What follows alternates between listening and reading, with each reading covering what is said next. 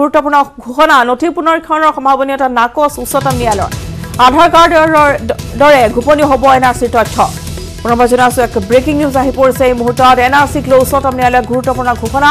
নথি পুনৰীক্ষণৰ সম্ভাৱনীয়তা নাকচ কৰিছে উচ্চতম ন্যায়ালয়ে। আধাৰ কাৰ্ডৰ দৰে গোপনীয় হ'ব এন আৰ চিৰ তথ্য।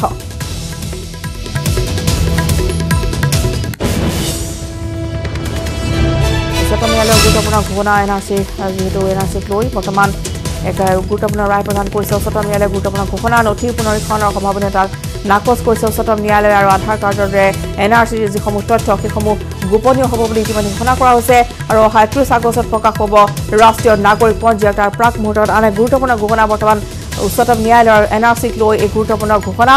নথি পুনৰীক্ষণৰ সম্ভাৱনীয়তা নাকচ কৰিছে উচ্চতম ন্যায়ালয়ে। আধাৰ কাৰ্ডৰ দৰে এন আৰ চি তথ্যসমূহ গোপনীয় হ'ব আৰু অহা একত্ৰিছ আগষ্টত প্ৰকাশ হ'ব। ৰাষ্ট্ৰীয় নাগৰিক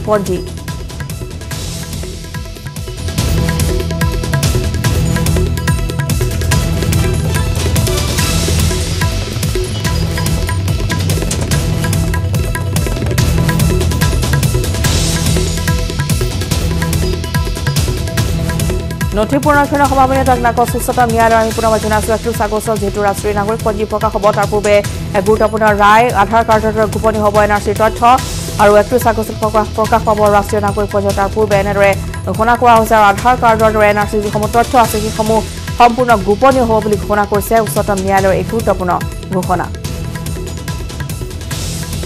নথি পুনৰীক্ষণৰ সম্ভাৱনীয়তা নাকচ উচ্চতম ন্যায়ালয়ৰ আৰু এন আৰ চিৰ যিসমূহ তথ্য সেইসমূহ সম্পূৰ্ণ গোপনীয় হ'ব আধাৰ কাৰ্ডৰ গোপনীয় হ'ব এন আৰ চিৰ তথ্য আৰু একত্ৰিছ আগষ্টত প্ৰকাশ পাব ৰাষ্ট্ৰীয় নাগৰিক পঞ্জ পঞ্জী তাৰ পূৰ্বে প্ৰকাশ কৰা হৈছে এই গুৰুত্বপূৰ্ণ ৰায় গুৰুত্বপূৰ্ণ ঘোষণা উচ্চতম ন্যায়ালয়ৰ আৰু এন আৰ চিক লৈ উচ্চতম ন্যায়ালয়ৰ এই গুৰুত্বপূৰ্ণ ঘোষণা নথি পুনৰীক্ষণৰ সম্ভাৱনীয়তা নাকচ উচ্চতম ন্যায়ালয়ৰ।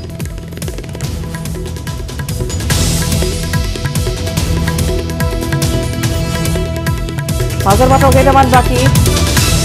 ৰাষ্ট্ৰীয় নাগৰিকপঞ্জী প্ৰকাশ পাবলৈ তাৰ পূৰ্বে এটা গুৰুত্বপূৰ্ণ ঘোষণা কৰিছে উচ্চতম ন্যায়ালয়ে।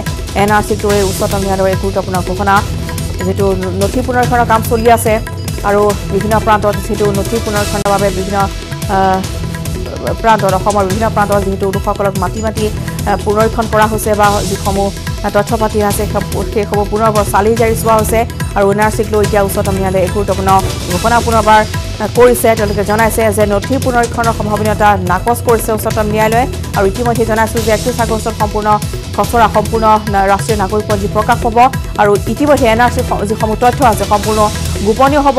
আধাৰ কাৰ্ডৰ দৰে এন আৰ চিৰ তথ্যসমূহ গোপনীয় হ'ব বুলি উচ্চতম ন্যায়ালয়ে ঘোষণা কৰিছে। আৰু সংযুক্ত হৈছোঁ পাৰ্থৰ সৈতে নতুন দিল্লীৰ পৰা পাৰ্থ সবিশেষ কি তথ্য আছে আপোনাৰ হাতত?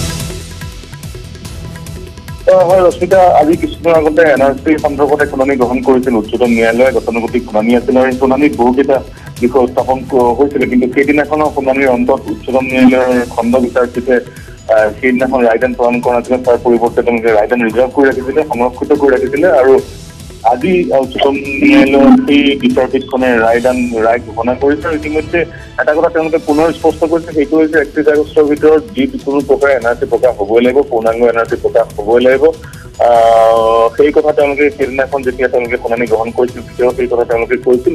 আৰু অন্যটো বিষয় আছিলে এন আৰ চিৰ যি তথ্য সেই তথ্যসমূহৰ ক্ষেত্ৰত এন আৰ চি কৰ্তৃপক্ষ কি ধৰণৰ নীতি গ্ৰহণ কৰিব সেইটো এটা প্ৰশ্ন আছিলে। এই ক্ষেত্ৰত উচ্চতম ন্যায়ালয়ে স্পষ্ট কৰি দিছে যি ধৰণে আধাৰৰ তথ্যসমূহ এজন ব্যক্তিয়ে আধাৰ কাৰ্ড যেতিয়া বনায় তেওঁৰ তথ্যসমূহ গোপনীয় গোপনকে ৰখা হয় বা গোপনীয়তা সমাল ৰখা হয় সেই তথ্যসমূহৰ ক্ষেত্ৰত ঠিক অনুৰূপ ধৰণে এন আৰ চিৰ ক্ষেত্ৰতো যিসমূহ তথ্য ৰাইজে প্ৰদান কৰিছে সেই তথ্যসমূহ গোপনকে ৰখাৰ এক ৰখাৰ ৰখাৰ এক নিৰ্দেশ উচ্চতম ন্যায়ালয়ে জাৰি কৰিছে এই ৰায়দানৰ যোগেদি গুৰুত্বপূৰ্ণ বুলিয়ে ক'ব লাগিব আৰু বেছিদিন নাই আৰু কিছুদিনৰ পিছতে একত্ৰিছ আগষ্টৰ ভিতৰত এন আৰ চি প্ৰকাশ কৰিব লাগিব এন আৰ চি কৰ্তৃপক্ষ গতিকে এন আৰ চি প্ৰকাশ কৰাৰ পাছ মুহূৰ্তত উচ্চতম ন্যায়ালয়ৰ এই যি ৰায়দান এই ৰায়ে যথেষ্ট গুৰুত্ব বহন কৰিছে হয় আৰু নথি পুনৰীক্ষণৰ ক্ষেত্ৰতো তেওঁলোকে ঘোষণা কৰিছে যে সম্ভাৱনীয়তা নাকচ কৰা হৈছে উচ্চতম ন্যায়ালয়ৰ তৰফৰ পৰা হয় নথি পৰীক্ষণৰ ক্ষেত্ৰত সম্ভাৱনীয়তা পূৰ্বতে তেওঁলোকে নাকচ কৰিছিলে বহু পক্ষই নথি পৰীক্ষণৰ দাবী উত্থাপন কৰি আহিছিল বা নথি পৰীক্ষণৰ প্ৰাৰ্থনা জনাই উচ্চতম ন্যায়ালয়ে কাষ চাপিছিল কিন্তু যিহেতু প্ৰতীক হাজেলা ইতিমধ্যে উচ্চতম ন্যায়ালয়ত সদৰি কৰিছে যে নথি পৰীক্ষণ হৈ গৈছে ক্লেইমছ আৰু অবজেকশ্যনবোৰ নিষ্পত্তি কৰাৰ কৰা কৰোঁতে প্ৰায় সাতাইছ শতাংশ নথি পুনৰীক্ষণ হৈ গৈছে। গতিকে তেনে ক্ষেত্ৰত উচ্চতম ন্যায়ালয়ে পুনৰীক্ষণৰ যি অন্যান্য আহ, প্ৰাৰ্থনা আছিল সেই প্ৰাৰ্থনা তেওঁলোকে উচ্চতম ন্যায়ালয়ে নুশুনিলে এক প্ৰকাৰ ডিছমিছ কৰিলে গতিকে এই মুহূৰ্তত এটা কথা ক'ব পাৰি সেইটো হৈছে একত্ৰিছ আগষ্টত পূৰ্ণাংগ এন আৰ চি প্ৰকাশ পাব। যদিও বহু পক্ষই এন আৰ চি তাৰিখ পিছুৱাৰ পোষকতা কৰিছিলে বা সেই সেই সেই প্ৰাৰ্থনালৈ উচ্চতম ন্যায়ালয়ে কাষ চাপিছিলে সেই প্ৰাৰ্থনা ইতিমধ্যে ডিছমিছ হৈছে। গতিকে এখন পূৰ্ণাংগ এন আৰ চি অসমৰ ৰাইজে একত্ৰিছ তাৰিখে লাভ কৰিব।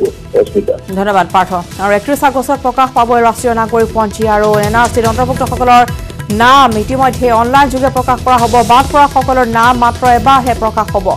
ইতিমধ্যে পাৰ্থ ইতিমধ্যে জনাইছে যে নথি পুনৰীক্ষণৰ সম্ভাৱনীয়তা নাকচ কৰা হৈছে উচ্চতম ন্যায়ালয়ৰ আৰু একত্ৰিছ আগষ্টত যিকোনো প্ৰকাৰে পূৰ্ণাংগ এন আৰ চি প্ৰকাশ পাবই লাগিব। এয়া উচ্চতম ন্যায়ালয়ৰ ঘোষণা।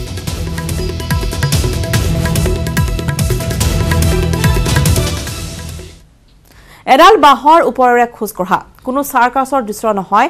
সেয়া আমি দেখুৱাম যে অসমৰ মূল অসম মুলুকৰ এক দৃশ্য এখন গাঁৱৰ এই দৃশ্য। এই সহজলভ্য দৃশ্য হৈ পৰিছে শোণিতপুৰৰ এক নং বছাখিমলু গাঁৱত।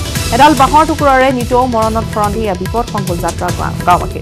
সম্প্ৰতি চৰকাৰে উন্নয়নৰ শ্লোগান দি থকাৰ সময়ছোৱাতে ৰাজ্যৰ গ্ৰামাঞ্চলৰ ভিতৰুৱা অঞ্চলত উন্মোচিত হৈছে তথাকথিত উন্নয়নৰ ফলাস্বৰূপ আৰু এইবোৰ অঞ্চলত পৰা নাই উন্নয়নৰ পোহৰ। যাতায়াতৰ নামত নিতৌ মৰণত শৰণ দি গাঁওবাসীয়ে কৰিব লগা হৈছে।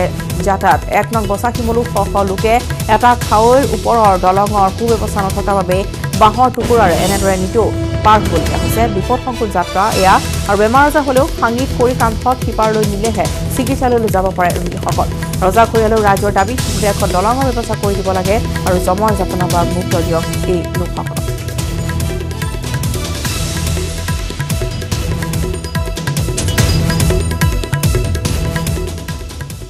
এই বাঁহৰ দলংটি দি পেলাই আজি পঞ্চাছ বছৰ হ'ল আমি এনেকৈ অহা যোৱা কৰি আছোঁ। তাৰমানে আমি এই দলংটোত চৰকাৰৰ কিবা সহায় পোৱা নাই। ইমান ৰাইজ আলোচনা আনি অহা যোৱা কৰি আছোঁ। আমাৰ দিগদাৰ হৈ আছে বা স্কুলৰ ছাত্ৰ আছে আমাৰ মাদ্ৰাছাৰ ছাত্ৰ ছাত্ৰ আছে। অহা যোৱা বহুত অসুবিধা হয়। সেইকাৰণে আমি বিজেপি চৰকাৰৰ তাত আমি দৰখাস্তটো জনালোঁ যাতে আমাৰ এই দলংটো যাতে বিজেপি চৰকাৰ থাকোঁতে আমাৰ দলংটো যাতে বিজেপি চৰকাৰে দিয়ে।